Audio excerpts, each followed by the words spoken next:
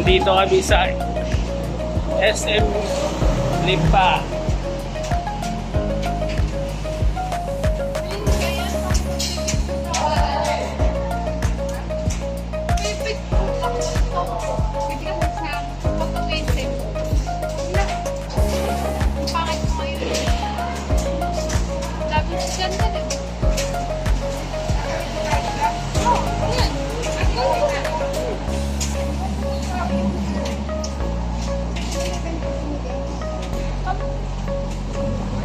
Ito po ang SM dito sa Kaang Enyo ay magkadugtong lang.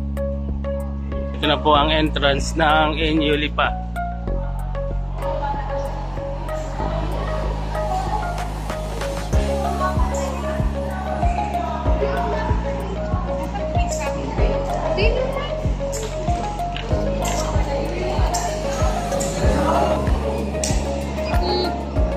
O, tingnan mo SM na agad. Dito na agad. Karatig lang.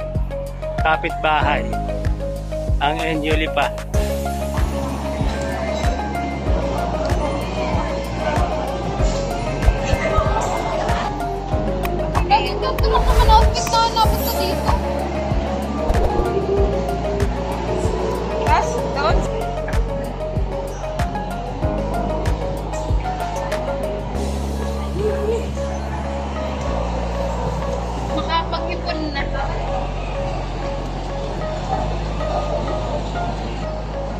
Grabe daming tao ngayon dito sa SM Lipa.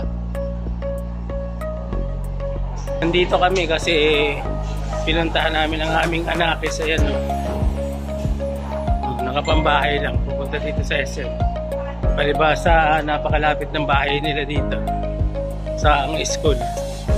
Pinuntahan ko yung aking anak kasi paalis na naman ako on uh, September 14. Ay, hindi ko na makikita matagal na ulit kaya pinuntahan na namin.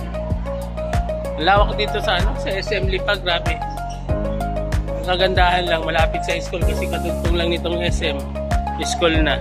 Tapos yung boarding house niya mga 5 minutes lang lakarin.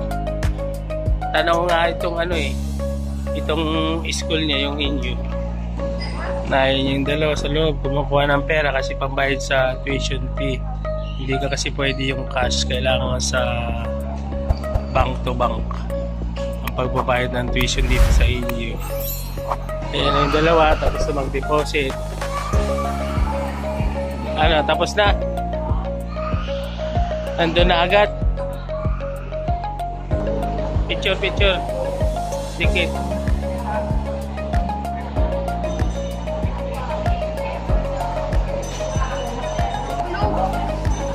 saan Pwede yun. Nagtanong na yata kayo eh. Ah, chat time Pwede sa kaibigan Harky. Pwede sa taas. yung Pupunta ako yan, yun. Ay, lawak dito sa ayan mini zoo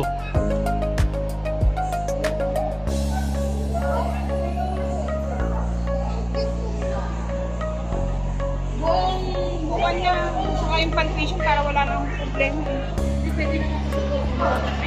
Hawak dito.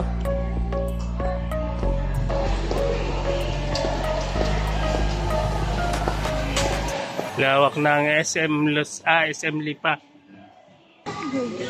wala may kuha ng ceiling. Lawak dito, guys, sobra. Ah.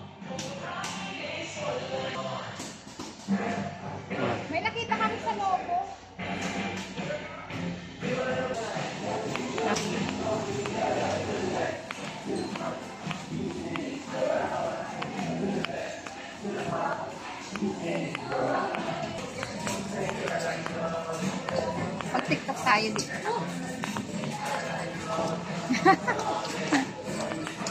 Hawak na supermarket dito sa Lipa. Yan na. Lagi kami walang chicken breast.